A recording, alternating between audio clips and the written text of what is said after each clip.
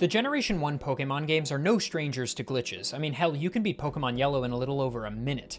But one particular Gen 1 bug always catches my eye because it's so relatively innocuous, yet it causes such massive problems. Just one line of code is the difference between a critical in-battle function working properly and it completely falling apart. Of course, I'm talking about the Gen 1 miss. This is a pretty infamous glitch where in the Generation 1 games, if you select a 100% accurate move in battle, there's still a 1 in 256 chance that it'll miss. I've even talked about the Gen 1 miss on this channel before, but what you might not know is that these are not the only Pokemon games that have this problem. There's another version of the Gen 1 miss that's even weirder, even stupider, even rarer, and results in some incredibly unlucky Pokemon clips. How deep does this rabbit hole go? Surely they fixed this issue by the Generation 2 games in Pokemon Stadium, right? Well, folks, this is the story of Pokemon's 1 in 65,000 mischance. In Pokemon, every move has an accuracy rating. Like Flamethrower has a rating of 100 and is thus 100% accurate under normal conditions. You're only supposed to miss Flamethrower if your opponent has raised their evasiveness with something like Double Team, or if they've used Sand Attack or something to lower your accuracy. Cut, however, has an accuracy of 95, meaning even if neither of those prior situations has happened, you should still miss the move 5% of the time. In Pokemon Red, Blue, and Yellow, the data structure for these moves stores their accuracy as a 1 byte integer. 1 byte is a binary number composed of 8 bits, or 8 ones or zeros. If all 8 bits in this byte are set to 1, the byte stores a value of 255, which is the maximum value for this number. Now, every time you select a move in battle, the game makes an RNG call, or random number generator call, to generate a random 1 byte number. After all, if your move is inaccurate, the game needs to somehow generate a random number to decide if it should hit or not. But even if your move is 100% accurate, the game still does generate this random byte. To determine if your move should hit or not, the game runs a comparison between the random byte and your move's stored accuracy byte. If the random number is ever greater than or equal to your move's accuracy, the move misses. This means that even if you choose Flamethrower, a move with 100% accuracy and a stored value of 255, if the random byte is also rolled to be the maximum of 255, then the numbers are equal and the move misses. Since the byte has a minimum value of 0 and a maximum value of 255, this effectively means that all 100% accurate moves in Generation 1 still have a 1 in 256 chance to miss. But funnily enough, this also means that moves that are inaccurate, like Cut, actually have a slightly larger chance to miss than you think because they have whatever their chance to miss is, so for cut 5%, plus the percent chance of Gen 1 missing.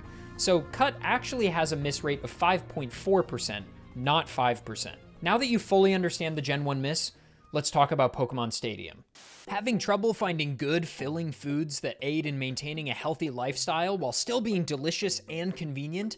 Introducing today's sponsor, Factor. Factor's fresh, never frozen meals are delivered right to your doorstep, cater to many different dietary restrictions, and are a great solution for anyone looking to add some chef crafted, dietitian approved meals to their weekly menu. If your goal is health, wellness, or working out, Factor's over 100 rotating weekly options include many protein packed and nutrition dense meals to support muscle repair and recovery. This is to say nothing of the fact that the food is genuinely delicious. I've used Factor many times now, and I'm always pleasantly surprised how good the meals are. Head to factor75.com or click the link below and use code ADEFFB50 to get 50% off your first Factor box plus free breakfast for one year. That's code ADEFFB50 at factor75.com to get 50% off plus free breakfast for one year.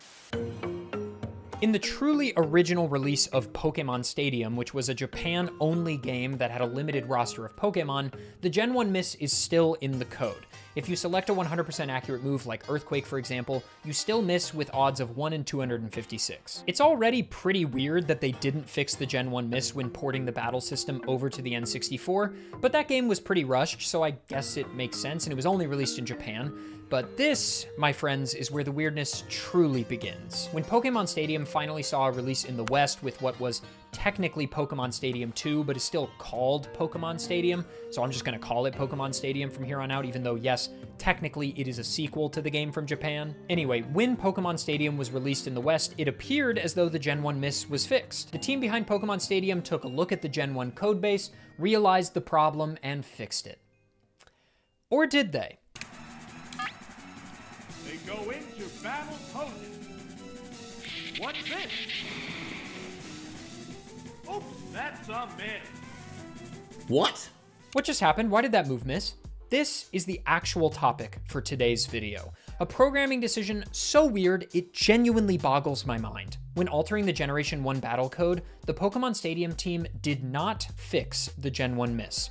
In fact, they just made it more convoluted. Thanks to the dedicated work of the talented Pokemon Stadium decomp team, we can actually take a look at the code here and see what's going on under the hood. When you choose a move in Pokemon Stadium, the first thing the game does is make an RNG call for a random 1-byte integer and assign that value to an address. Before even taking into account the accuracy of the move you just selected, they compare the random value to 255. If the integer is equal to 255, which in Gen 1 would obviously mean a Gen 1 miss, they just generate a new random byte and then run the normal move accuracy check. And that new move accuracy check function still has the greater than or equal part, meaning that if you roll 255 twice in a row, your 100% accurate move misses. This means that when you choose a 100% accurate move in Pokemon Stadium, you have a 1 in 65,536 chance to miss. Why in God's name did they do this? They clearly knew about the problem because they have an if-then statement specifically for the case when the random byte is equal to 255, and if it is, they re-roll the random byte. But then they just move on and still run the comparison with a greater than or equal sign. Which begs the question, why re-roll at all? My best guess as to why it's like this is because of something I haven't mentioned yet. Some of you will already be screaming at the screen, but Pokemon Stadium wasn't developed by Game Freak. Stadium was developed by an arm of Nintendo. Maybe the Nintendo developers were poring over the code for Gen 1's battle systems, and when they saw the Gen 1 miss mistake, they thought maybe it was an intentional design decision. They probably still thought it was a bad design decision, but maybe they were reluctant to change much about Pokemon's core mechanics since it wasn't theirs. So instead, they just made it more unlikely, forcing the check to happen twice. But if they thought their change would mean that this would never happen, they were very, very wrong. Cue the montage of clips of this happening to people who just happened to be recording. I would rather take What that you hit? KO than missing gun. Miss How? target. Uh, Gen 1 missed.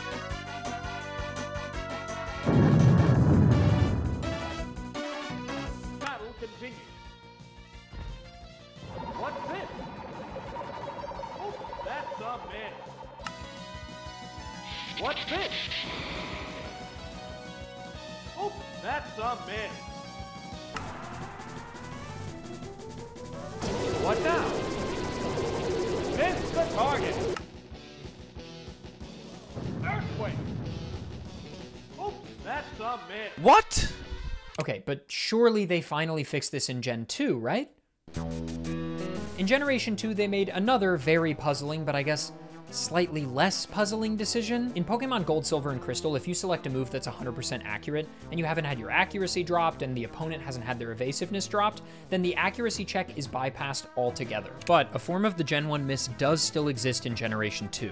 When you select a move that has a secondary effect, like Bite, which has a 30% chance to flinch the opponent, after determining if the move should hit, the game then needs to run a second random number check to determine if the secondary effect should actually occur. It is here in the secondary effect calculation that the Gen 1 miss still exists. It's obviously most prominent, just like in Gen 1, for effects that should be 100%. They actually have a 1 in 256 chance to fail. So a move like Zap Cannon, which has a 100% secondary effect chance to paralyze the opponent, actually has a 1 in 256 chance not to. Note that this does not apply to moves like Growl or Thunder Wave, where the stat change or status effect is the primary and only effect. That's accounted for in the normal hit chance code. This chance for secondary effects to sometimes miss is often referred to as the Gen 2 miss. Thankfully, by Generation 3, the issue was finally completely fixed. They did a complete overhaul of the battle system, and so the Gen 1 miss was forever eradicated. But I think the important takeaway here for any aspiring programmers or any people who code regularly at all, especially in the era we live in now with so much AI generated code, is to just be really diligent at reviewing the things that you write. When reviewing your work, even small, relatively innocuous seeming decisions that might not break or halt your code, like using greater than or equal to instead of just greater than, might have lasting effects that become the bane of speedrunner and challenge runner existences for years to come. But also, maybe that's kind of hilarious to you, and to be honest, it is pretty funny. Thank you so much for watching, and please consider subscribing if you enjoyed what you saw. What you see on screen right now are my top tier patrons on Patreon. You can check out my Patreon link in the description to find out how you can support the show directly, and also what benefits you can get from doing so. Again, thank you so much for watching, and I'll see you in the next one.